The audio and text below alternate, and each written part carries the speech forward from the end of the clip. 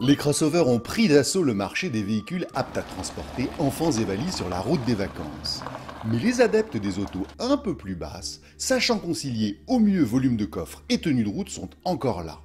Et pour eux, Peugeot propose la 308 SW.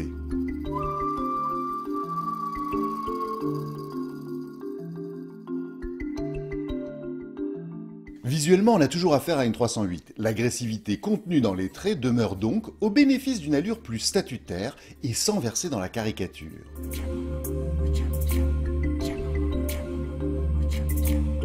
Les feux légèrement effilés et la calandre chromée renforcent la montée en gamme voulue par le constructeur.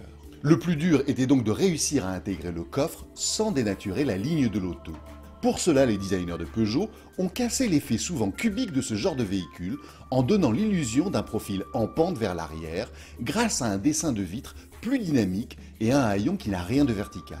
Et cela fonctionne bien.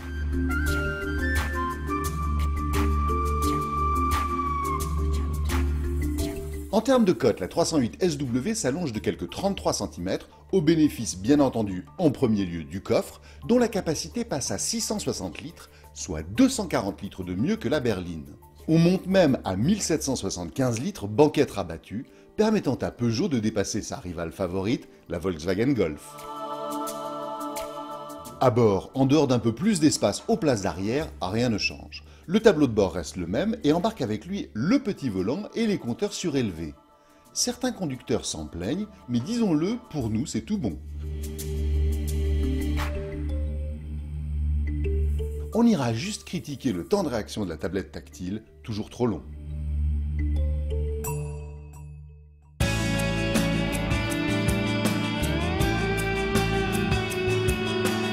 Notre modèle est équipé d'un 2 litres diesel baptisé Blue HDI de norme Euro 6. Ce bloc de nouvelle génération amène Peugeot dans une nouvelle ère avec toujours plus d'efficience pour une consommation et des émissions toujours plus réduites.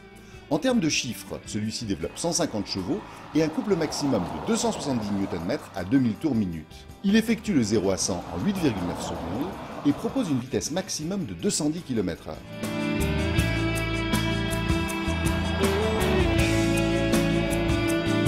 La consommation en cycle mixte est annoncée à 4 litres au 100 km. À titre de comparaison, le 2 litres TDI du groupe VV à la norme Euro 5 offre des performances équivalentes pour logiquement une dépollution inférieure.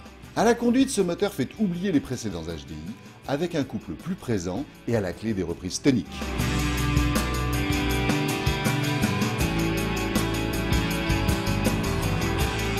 En outre, Peugeot profite de la commercialisation de la 308 SW pour lancer sur son catalogue une nouvelle boîte automatique EAT6. Enfin, on dit au revoir et à jamais à la BMP6. Malgré son principe de fonctionnement à convertisseur, on se rapproche très clairement en termes d'agrément d'une boîte à double embrayage de type DSG. En fait, si nous ne le savions pas avant de se mettre au volant, on ne détecterait pas à l'usage la différence entre les deux.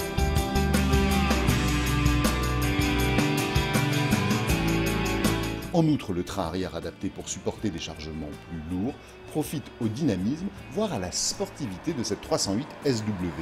La direction plutôt bien calibrée et à l'assistance pas trop artificielle donne le sourire derrière le volant.